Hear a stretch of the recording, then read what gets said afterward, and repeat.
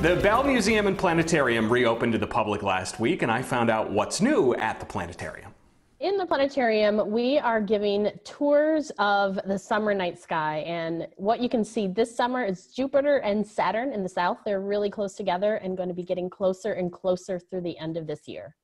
Are they easy to see with the naked eye? Do you need telescope, binoculars? How should we do this? You do not need telescope or binoculars to see Jupiter and Saturn. You can see them by eye. Jupiter's the brightest point of light in the sky at night by far, and Saturn's not too far behind it. So tell us about the new planetarium. I mean, it's not technically new, new anymore, but you guys have only been open in the new location for a few years. Uh, how is it different from the old planetarium?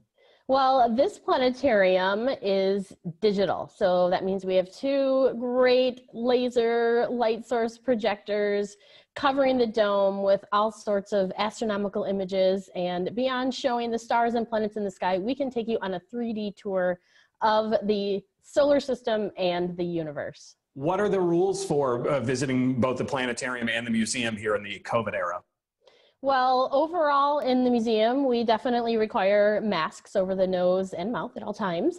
And we are making sure there's enough room for all groups to be safely distanced. So in the planetarium, we are blocking off every other row of seats and we are keeping at least three seats between each group that will get to that more than six feet in between them. And we are lowering our capacity to about 25 people at a time.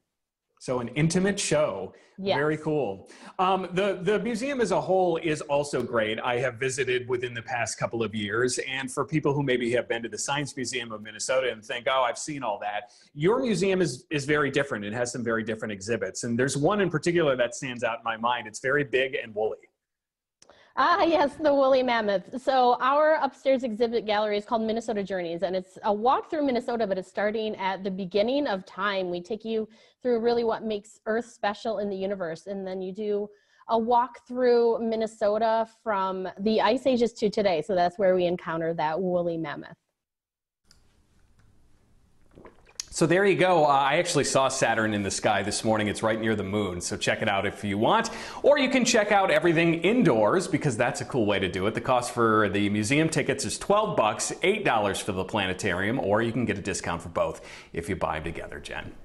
Pretty cool stuff over there, Mike. Thank you for showing us that.